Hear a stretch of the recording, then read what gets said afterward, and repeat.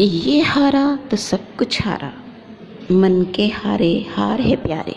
प्यारे बच्चों, इस शेर में शायर ये कह रहा है कि इंसान को अपना हौसला कभी नहीं हारना चाहिए। अगर इंसान ने अपना हौसला हार दिया और अपनी हार को तस्लीम कर लिया तो फिर वो कभी जीत नहीं सकता। अगर इंसान का हौसला पस्त हो जाए उसका जोश सर्द पड़ जाए तो फिर ज़िल्लत उसका मुक़द्दर बन जाती है, नाकामी उसका मुक़द्दर बन जाती है। इसलिए हर कीमत पर, हर हाल में, हर हालात में इंसान को जद्दोजहद, कोशिश एक खिलाड़ी की तरह करते ही रहना चाहिए। ये ज़िंदगी भी हमसे कुछ इसी तरह खेलती है।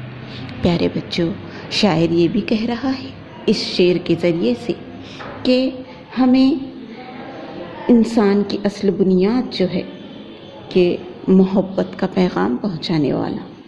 तो अगर हमने इस मोहब्बत को हार दिया, यानी इस मोहब्बत के तर्ज को अपनाने में नाकाम रहे तो हम सब कुछ खो देंगे, सब कुछ हार देंगे।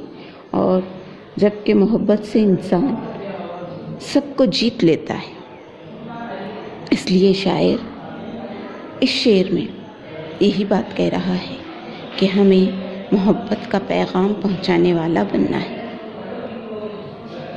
और मोहब्बत का तर्ज जो हमारे आबा व अजदाद का था, मोहब्बत का तरीक़ा जो हमारे बड़ों का था, उसी को अपनाना चाहिए और उसको अपनाने में, उस मोहब्बत को अपनाने में अगर हमें अपनी जान की बाजी भी लगानी पड़े तब भी हमें इत्तेहाद और इत्तेफाक और मोहब्बत की हिफाजत करनी चाहिए। क्यों? क्योंकि शायर को डर है कि मोहब्बत के दुश्मन नफ़रत का बीज बोकर फतेह और प्यार से जीती हुई बाजी को शिकस्त में ना बदल दे। क्योंकि अब वक्त बहुत कम है। और अगर मोहब्बत की राह में हिंदुस्तानियों की फूट पड़ गई तो वो कभी तरक्की न कर पाएँगे। वक्त तो देखते देखते गुजर जाएगा।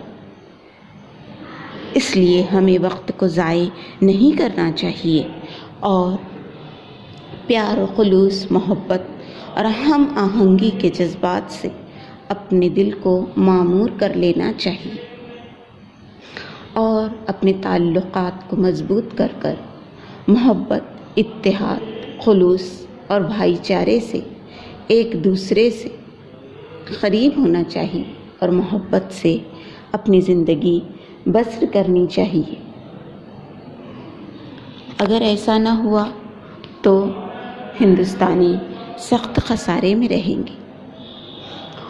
और उनकी जो कामयाबियाँ उन्होंने हासिल की है, इस नफ़रत की वजह से वो कामयाबियाँ उनकी ख़त्म हो जाएगी। हिंदुस्तान तरक्की की राह पर गामजन न हो सकेगा।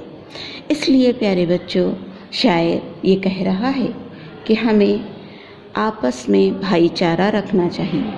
कभी भी एक दूसरे से लड़ाई, झगड़ा और एक दूसरे को तकलीफ़ पहुँचाने और मुल्क की सालमियत को ख़तरे में डालने से बचना चाहिए। और हमेशा अपने मुल्क की यकरंगी को क़ायम रखना चाहिए। मुल्क की अमन आमान को क़ायम रखना चाहिए।